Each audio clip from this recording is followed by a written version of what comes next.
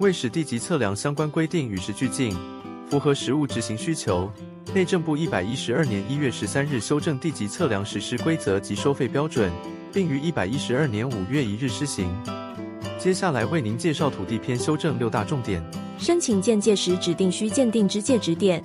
申请人申请鉴界案件时需提供指定待鉴定的界指点略图。土地付账规费以量计价，规费等于基本费加施测费，基本费依土地面积多寡分级计征，施测费依申请数量多寡计征。免再自备界标，由地政事务所测量人员于测量时依现况免费提供合适的界标，供申请人埋设。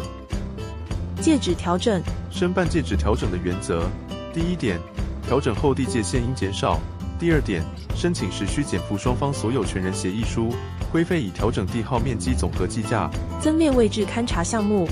土地所有权人如不清楚土地概略的位置，可向地政机关申请位置勘查，勘查费每笔土地五百元。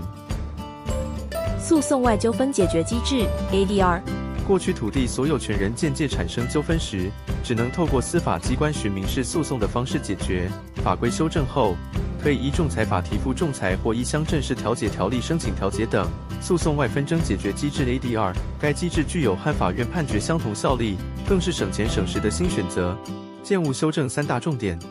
申办建物第一次测量应减负 GJB 格式电子档，电脑绘图方式办理建立建物向量档资料库，以共通格式电子档 （JB 建档）转绘建物位置图应减负经签证之建物地及测绘资料。建物位置图才转绘办理者。应减负经实地测绘且由建筑师或测量技师签证之建物地及测绘资料，如未缴交，则需加缴建物位置图测量费，由地政机关排定时间到场测量。建物测量规费调整，收费项目及费额调整。